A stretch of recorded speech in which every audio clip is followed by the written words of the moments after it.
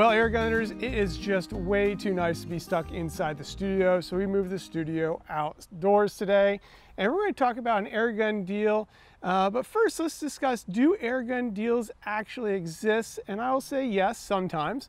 Obviously, you can get a good deal on a used air gun, but what about the new ones? Well, it seems that most airgun companies are pretty strict on their MAP pricing, which is minimum advertised pricing. But once each year, the market kind of swings in favor of the consumer.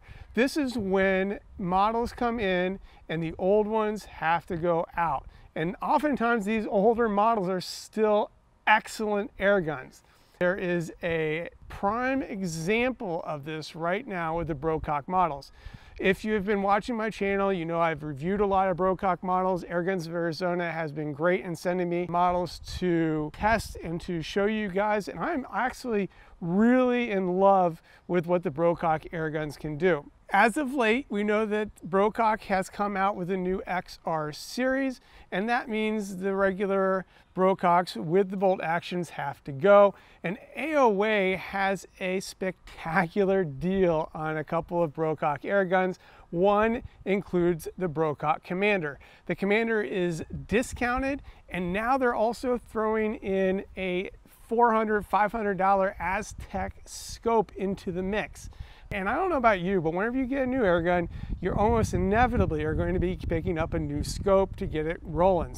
So what is the difference between the new and the old? Well, when it comes down to it, not a whole lot.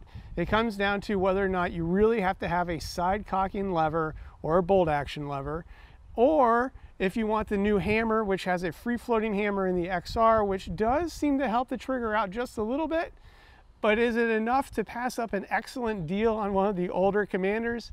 I don't think so. So what I'm going to do today, I'm going to run through this commander in 22 caliber, uh, what my testing results were, and then you can decide for yourself if it's worthwhile for you to pick up.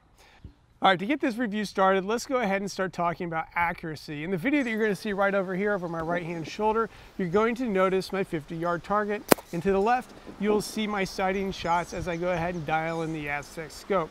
You will then notice that my first five-shot group at 50 yards measured 0.3035 center to center without really much effort. I was super pleased with this and again speaks volumes for the accuracy of the Brocock line. And you can see that similar accuracy play out again and again in my other reviews.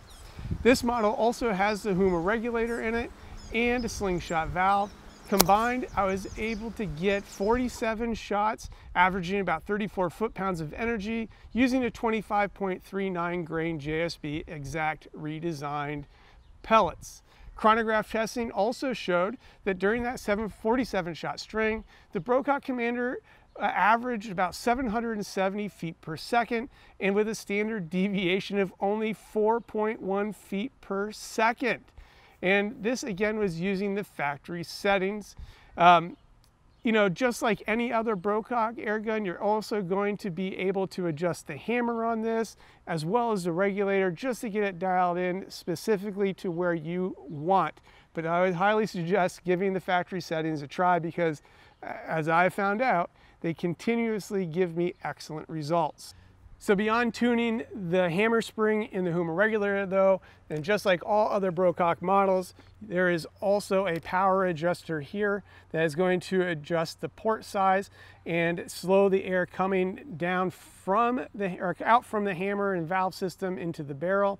And there's four settings there. On the high setting, I was able to get 34 foot-pounds of energy. With one click down, I was able to get 31 foot-pounds of energy then 24 foot-pounds energy, and in the final stage, I was down to 16 foot-pounds of energy, which is going to be perfect for adjusting your power between outside and barnyard testing.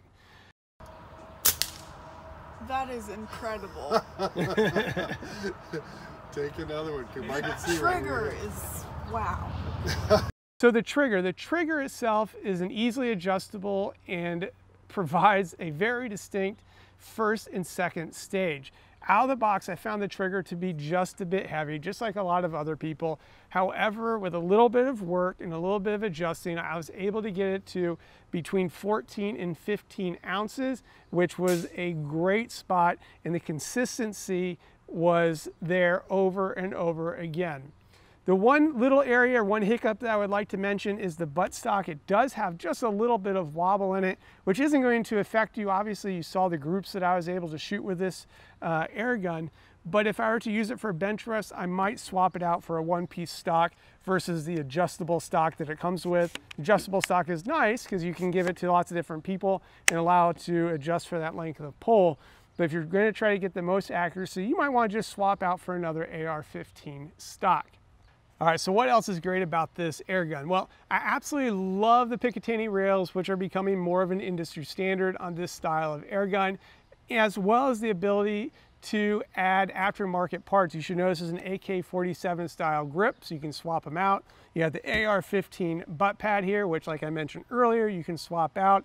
I've also taken and added an aftermarket folding stock adapter to this, which I absolutely love.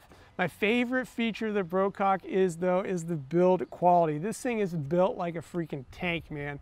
I wouldn't be afraid to take this rifle anywhere, lean it up against a tree, lay it on the ground, throw it in your farm truck as you work, and any of the Brocock line is going to be this way, not just the Commander. It's going to be able to take the abuse, but then continue to hold the accuracy and reward you with years of use. Well guys, that's a quick review of the Brocock Commander. Make sure you check out my other reviews of the other Brocock line that I have on my video feed.